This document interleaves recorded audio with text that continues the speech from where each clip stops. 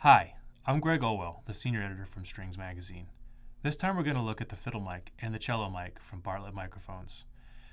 After decades of designing mics for the companies like Shure and Crown, the company's founder and engineer Bruce Bartlett started his own company three years ago with the goal of offering quality products at a fair price.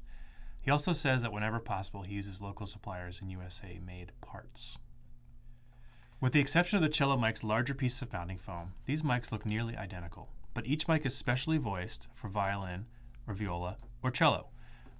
Both basic designs consist of a miniature omnidirectional condenser mic, a cable that's 10 feet long for the fiddle mic and 8 feet long for the cello mic, and has a small block of foam for mounting onto the instrument and an XLR jack. The XLR jack is one of the new improvements over the previous version and feels more compact, more solid, and easier to adjust over an earlier version that Strings had on hand during testing, but we don't have with us today for filming. The mics mount on each instrument using a small block of foam, which seems a little odd at first, but we found that it's actually quite clever and effective. Like most other microphones, the Bartlett mics require phantom power, which is available through most PA systems, powered DI boxes, and most acoustic ready amps. Jessica Ivry, a cellist who plays with the Real Vocal String Quartet, and also teaches, was one of our testers and had these comments to say about the Bartlett cello mic.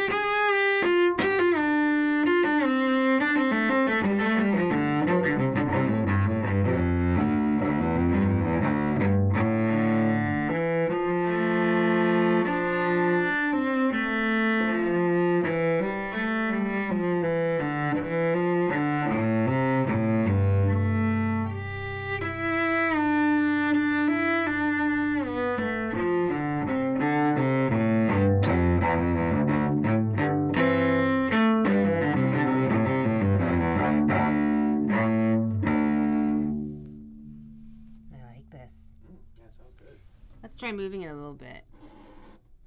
That was easy. I think it's further away. Less volume, yeah. I think it has to be kind of closer. I noticed you, but I could also make. do that. I could also make it closer by pushing it in the mic.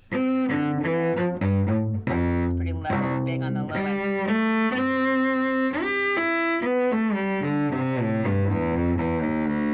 This is a great. It sounds great. Like just the, my nice acoustic instrument amplified. Will you play a little bit and like without talking over it? Sorry.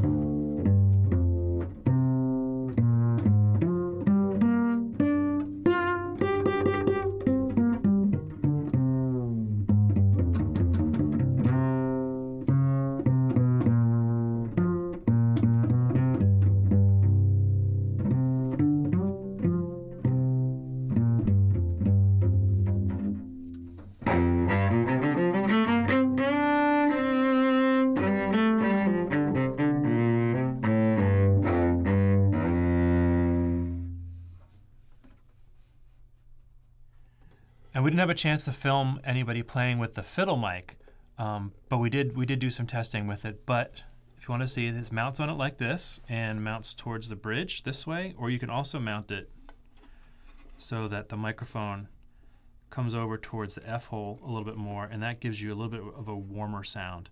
Whereas the original positioning here towards the bridge gives a bit of a brighter, more direct sound. With its dead simple operation, transparent sound, and reasonable price, the Bartlett miniature condenser mics are a great option for musicians who need to amplify on a budget.